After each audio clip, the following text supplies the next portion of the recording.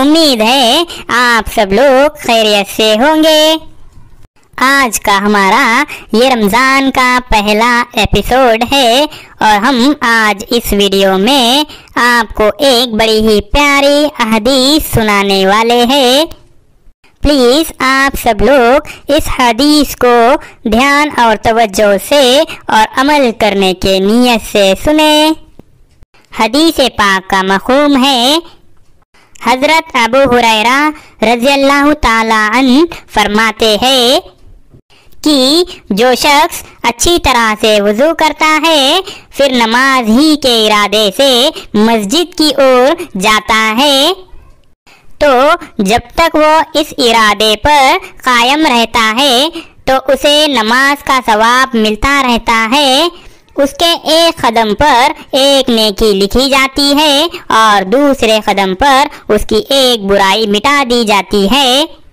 जब तुम में कोई इकामत सुने तो दौड़ कर न चले और तुम में से जिसका घर मस्जिद से जितना ज़्यादा दूर होगा, उतना ही उसका सवाब ज़्यादा होगा। हज़रत अबू हुरैरा रज़ी अल्लाह ताला अन के शागिर्दों ने यह सुनकर पूछा कि, अबू हुरैरा, घर दूर होने की वजह से सवाब ज़्यादा होगा क्या? तो इस पर अबू हुरैरा रज़ी अल्लाह ताला अन ने फरमाया, जी हाँ सवाब ज़्यादा होगा, इसलिए कि कदम ज़्यादा होंगे। देखिए ना, कितनी प्यारी हदीस है। यानी कि जो शख्स घर पर अच्छी तरह से वज़ू करता है और मस्जिद जाकर नमाज़ पढ़ने के इरादे से मस्जिद की ओर जाता है।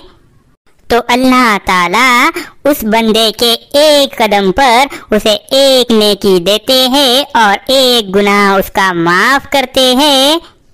तो इनशाला आज से ही अभी से हम सब इस हदीस पर अमल करेंगे और अपने घर से वज़ू बनाकर नमाज़ की नीयत से मस्जिद की ओर जाएँगे तो हमारे एक कदम पर एक नेकी हमें मिलती जाएगी और एक हमारा गुनाह माफ़ होता जाएगा। वाह और हदीस पाक का मखूम है कि जब आप इकामत सुने तो दौड़ा ना करें, बल्कि धीरे धीरे आहिस्ता से बड़े ही अदब से जाए, ताकि आपको एक कदम पर एक नेकी मिलती जाए और एक गुनाह आपका माफ़ होता जाए।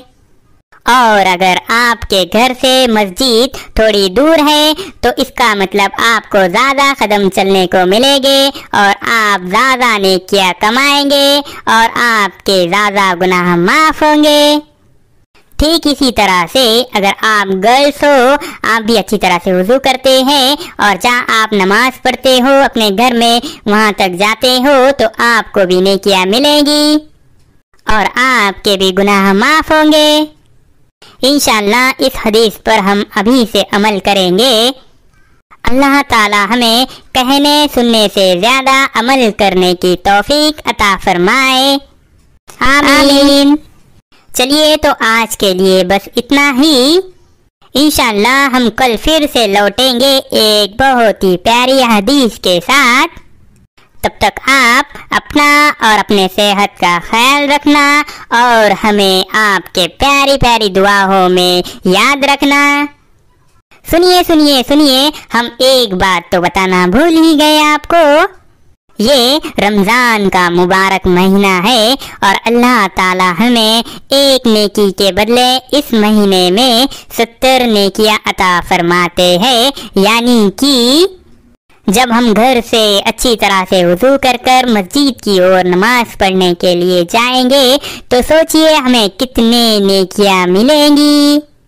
तो चलिए मिलते हैं। हम आपको बहुत जल्द अगली वीडियो में। तब तक आप अपना और अपने सेहत का ख्याल रखना। अल्लाह हाफिज।